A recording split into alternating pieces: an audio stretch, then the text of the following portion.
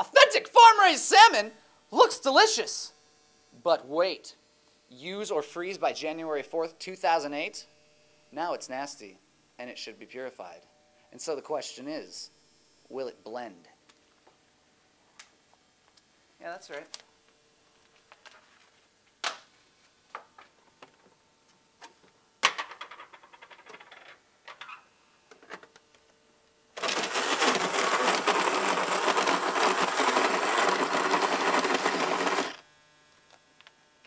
Just kidding.